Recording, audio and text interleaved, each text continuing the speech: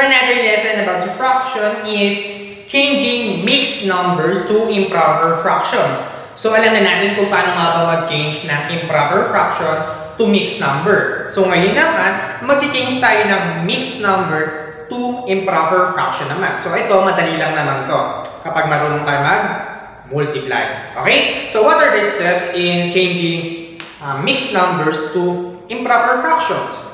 So step number one is multiply the denominator of the fractional part by the whole number. Ibig sabihin, kailangan lang, ng, kailangan lang daw natin i-multiply si denominator kay whole number. Alam naman natin, sa mixed number natin, meron tayong whole number at fraction. Kung saan, yung whole number at yung denominator natin na yun, i-multiply natin.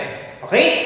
So next, number 2 is add the result to the numerator. After natin mag-multiply daw yung, yung denominator sa whole number, i-add naman daw natin yung nasa yung numerator natin. Okay? Next, for number 3 is then write the result as your numerator. Pag nakuha na natin yung result, isulat lang daw natin as new numerator. And place it over the denominator that you already have. Ibig sabihin, ilagay lang daw natin yun, yung numerator na yun, kung saan meron na tayong denominator, kung ano yung denominator natin sa given natin. Okay?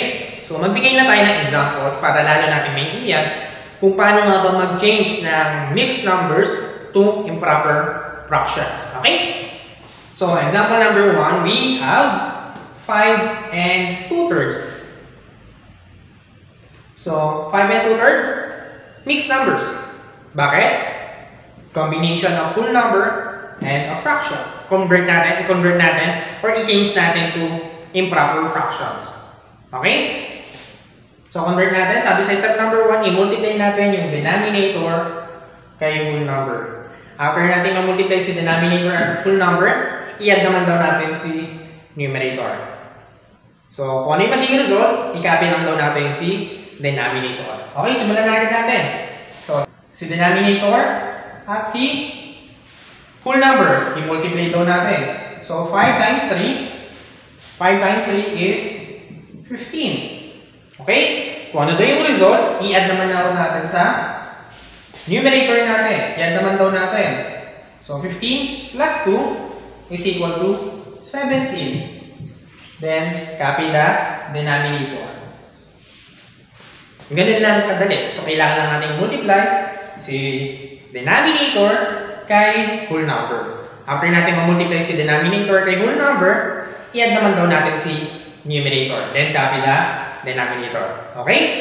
So, let's try number 2. Try natin number 2. 4 and 7 over 8. Convert natin to um, improper fraction. So, convert natin or change natin to improper fraction. Just multiply the den denominator to whole number. So, multiply natin yan. Multiply natin si denominator kay whole number. So, 4 times 8 is equal to 32. So, after natin mag-multiply yung denominator at yung whole number natin, i-add naman daw natin si numerator. So, 32 plus 7 is equal to 39. Then, copy the denominator. That is the final answer for number 2. 39 over 8. Naintindihan? Next, for last one, we have 7 and 2 over 7. So, convert natin or i-change natin to improper fraction yung given natin sa number 3. Uh, Mumultiply lang natin yung denominator kay whole number. So, 7 times 7 is equal to 49. After natin makuha yung result, i-add na natin yung numerator natin. So, 7 times 7 is 49. Then, add natin yung numerator. The answer is 51. Then, copy the denominator. And that is the final answer for number 3. So, ganun lang kadali kung paano nga ba mag-change na ng mixed number to improper fraction. I-multiply lang natin si numerator, ay si denominator kay whole number.